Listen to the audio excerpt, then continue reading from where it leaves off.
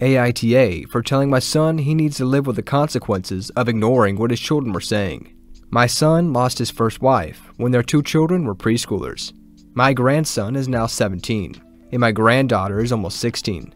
Their relationship with my son has been on a downward spiral for years. It started when he and his current wife moved in together. She had two kids of her own, and early on they showed extreme jealousy whenever their mom would pay any attention or buy anything for my grandkids. They were older, teenagers, and said a number of cruel things to my grandkids. My grandkids told my son. They told my wife and I, and we spoke to our son. But he ignored all four of us. My wife also spoke to my son's second wife prior to the wedding, and she said her kids would adjust in time. My grandkids spent years living with two much older kids who told them that they deserved to have a dead mom and that she wanted to die because no one would ever want to be around them. They accused them of stealing because their mom shouldn't be buying them anything anyway. There were instances where they broke stuff their mom bought my grandkids. My wife and I pleaded with our son to do something, to help his kids. We said they didn't deserve to be raised like that.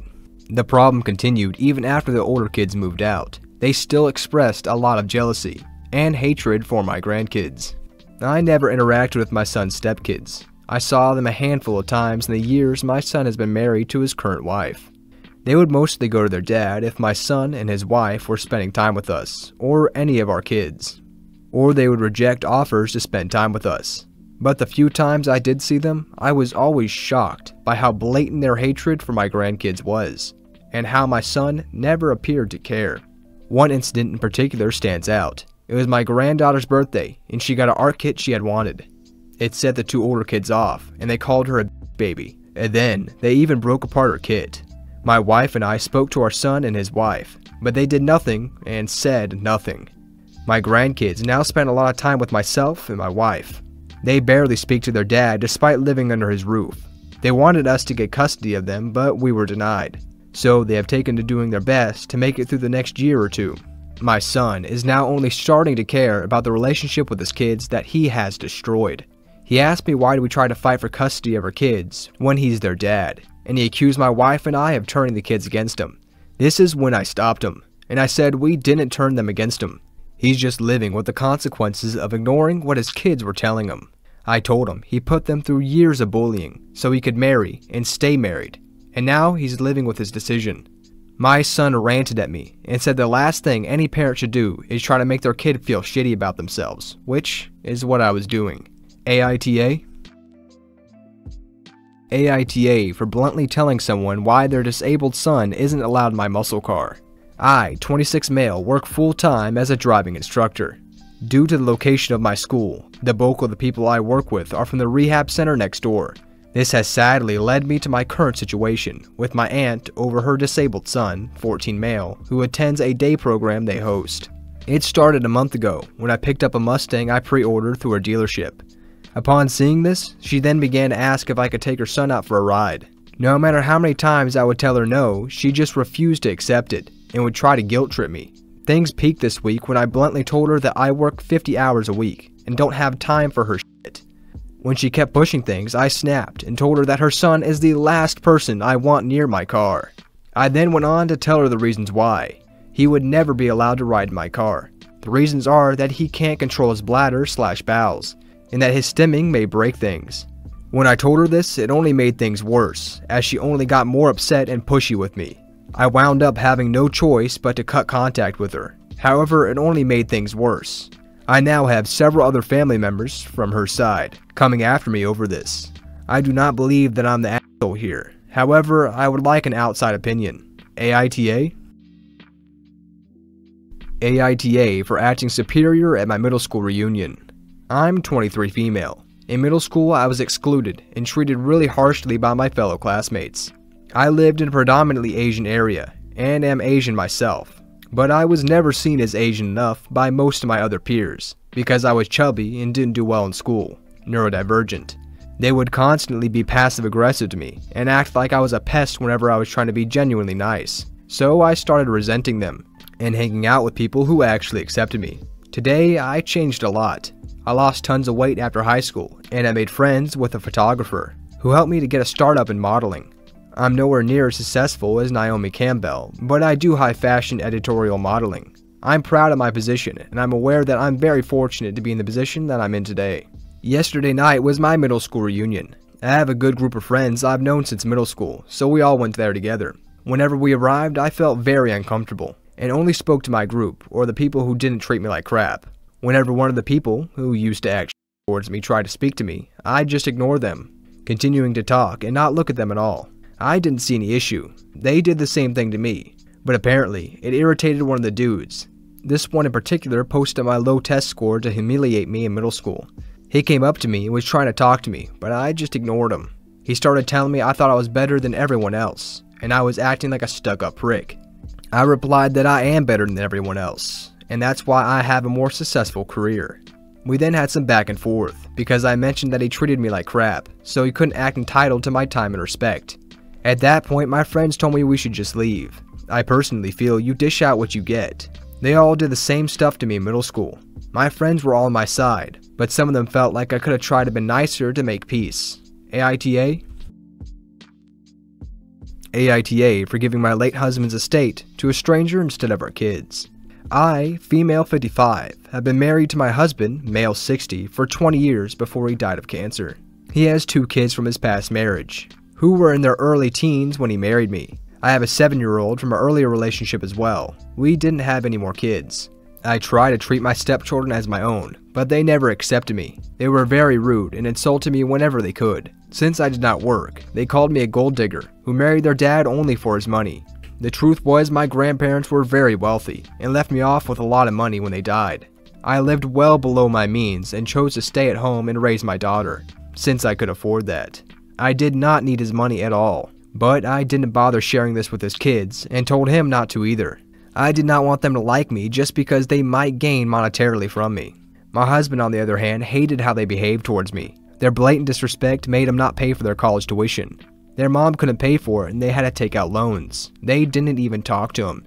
Even when he got cancer, they refused to come see him. For three years, we struggled with his treatment. My daughter came to visit from time to time when she could. During this time, the only one who really helped us was someone who was not related to us at all. This girl in her late 20s, waitressed at a cafe we frequented. She was a single mom, taking classes at community college at night, working during the day and raising her two kids. She took a liking to us and she learned that my husband was sick. She spent whatever time she could visiting us. She had stayed nights at the hospital when I needed a break, and basically was the daughter we always wished for. She helped me arrange the funeral. His kids came on that day, and all they wanted to know was about his inheritance. I felt sick. When I learned my husband had left me his estate, whatever is left after settling the bills, it was around 250,000. I decided to give it to the girl who helped us both so much. She tried to refuse it, but I insisted she take it. She needed it, and in my opinion, deserved it more than the ungrateful children. My daughter understood why I did not give it to his children, but is upset I did not give anything to her. I told her she already had money and a job, not to mention she'll get my inheritance. This was no way her money. But his ex and kids are causing havoc over this, and they're really upset with me. They're calling me an asshole for giving away money they deserved. AITA? AITA for ending a family naming tradition by not giving my son my late nephew's name as his middle name even though my sister has said she wants me to. My family has always had this tradition, where the first child born after a loss of someone in the family gets the late family member's name as their middle name. My sister and I both have those middle names. Her is Patricia after a cousin of our mom's, and mine is Denise after my dad's aunt. Almost a year goes by and my sister lost her two-year-old son, Philip, he was the last family member we lost, and it was huge, earth-shattering blow for our family. I found out I was pregnant a few months ago. I waited to tell anyone, and my sister was the first person we told, privately. When I told her, she said it would be nice to have some positive news to focus on, and she wanted me to continue the tradition of our family's names, and give my baby, if a boy, the middle name Philip. She was so happy about the idea. It surprised me a lot. I would have figured she would not be okay with it, but she wanted it. The problem is, my husband and I do not want to continue this tradition. We do not want to give our son the middle name Philip. The name isn't one either of us would like, or would ever pick ourselves. We have not announced the sex of our baby, but my husband and I know we're expecting a boy. My family was saying how amazing it would be if the baby is a boy, and Philip's name can be carried on. I suggested they wait till we announce the sex and the name before jumping to conclusions. They asked why, and I said we were thinking of not continuing the tradition. My family, and by that means my parents mostly, were very upset. My sister was worse though. She asked why I didn't want to honor Philip, and why it was him the tradition was getting broken on. She asked if I saw him as meaning so little, and I said no, of course not. Then she asked if it was his name, and if we didn't like it. She said she really hoped that wasn't it. I said we just didn't feel like the tradition was something we wanted to continue. The decision has brought up a lot of feelings, and my sister is especially feeling hurt and angry, and thinks I'm being insensitive and showing how little I care for my nephew. I feel terrible. She's so angry at me, and my parents are unhappy as well. My husband hates them for putting this pressure on us. He said we should be allowed to name our son whatever we want, and we should not be obliged to a certain name. I never wanted to be the asshole, but my family believes I am. AITA? Despite what Reddit seems to come to the conclusion to, I do think you're that. I'm gonna be honest with you. The middle name's not used by anybody, really. Um, it's very inconsequential to the child's existence. Hell, uh, my middle name is Michael, and I think there's like 10 people in my entire life who know what my middle name is. Uh, and it's not because I'm embarrassed about it. It's just no, no one knows. No one uses it, you know? AITA for telling my friend her baby is the reason no one wants to hang around her. One of my, female 24, friends, Anna, female 24, has a baby around 6 months back. Our friend group is otherwise childless. All of us used to hang out a lot before the child was born. The baby changed the dynamics because Anna wanted to bring the baby everywhere. And it's a baby. We tried to plan things around the baby to include Anna, but it always ended up badly. We couldn't drink because Anna couldn't drink. We shouldn't be loud because, well, a baby needs to sleep. Icing on the cake is her baby is extremely fussy and cries all the time. It was just a downer for the rest of us, so we started hanging out without Anna and her baby. Last week, all of us went on a staycation. We had a great time and posted photos and videos on Instagram. Anna saw these and called me out to ask why. Why did I not ask her to come with us? I tried telling her it was a last minute plan, and we could only find a child free resort, so as not to hurt her feelings. She called my bluff and sent me pictures of a random family who had posted their kids at the resort. She kept forcing me, and I told her that we did not want to hang out with her baby. She asked me how I can say that about her baby. I asked her to leave it at that, but she didn't. I finally told her that it's a baby, and we're all young. We don't want to live our life around a baby she chose to have. That we got to do adult stuff and party all we wanted. Her baby is the only reason why she wasn't invited. If she left the baby at home, she can come too. She got pissed off and called me an asshole. She also sent a text in the group chat saying she is disappointed in all of us for excluding her because she's a mom. Half of our friend group thinks I should not have told her the real reason and is mad at me. Other half thinks she's being unreasonable. AITA for telling her the truth? For the comments. We try to communicate to her about only adult events, other than openly saying don't come if you bring your baby. She refuses to leave her baby with her boyfriend or babysitter, even when we say an event is adults only, like a dinner we had a few weeks ago. She still brought her baby. Baby cried throughout the night, earning us glares, and we had to leave early. AITA for telling my daughter she's a disappointment. I have two daughters, 23 female and 20 female. They are both so beautiful and smart, and I really love them both. I have always wanted them to be strong and independent women who could stand on their own feet and I try to raise them that way. They were both interested in volleyball, and I always supported their interest.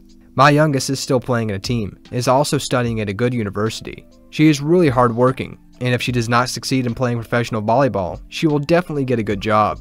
My older daughter quit both sports and school when she got pregnant at the age of 18. When she first told us she was pregnant, I was very upset and advised her to have an abortion, because having a child at such a young age would disrupt her life. She did not want to have an abortion, and my wife supported her decision. To be honest, I was very insistent on her having an abortion at the time. But when I saw she remained determined, I dropped the issue and supported her fully, even though I didn't want to. She got married quickly with the baby's father. Then, she decided to stay at home and take care of her child, and her husband started to work. I never wanted my daughter to be financially dependent on her husband, but I never voiced it either. But of course, my daughter knows that I'm bothered by this. Yesterday, we were having a dinner with my daughters and my wife. My wife and daughter started talking about being a mother. My wife told her that even though I wanted to have an abortion, I loved my grandson so very much. My daughter asked me if that was so, and I said, Of course I love him. But my daughter knew I was bothered by her situation, so it didn't sound sincere at all. My daughter said I could give her an honest answer. I told her I really do love my grandson, but I was disappointed that she became a mother at such an early age. Had left school and her job and was now dependent on a man. She didn't argue with me, but the rest of the night was a bit tense. At the end of the night, she went home, and my wife started a fight over what I said. I told her that she was the one who wanted an honest answer, but my wife is sure that I'm an asshole. My younger one agrees with me, but says I was rude to say it out loud. Edit. I'm not sorry that my daughter doesn't live the life that I want. I'm sorry that she lives dependent on another person, and I can't say that their marriage is going very well. They chose the sport they wanted to be interested in, the university they wanted to go to, or the hobbies, etc. I didn't force anything on them. All I want is for them to be self sufficient. I also told my daughter that I would pay for a babysitter if she wanted to go back to school or get a job. Yes, she is only 23 years old and could still have a career, but she's not doing that. Since yesterday, I have received many comments about what a good father I am and what a terrible father I am. It's okay.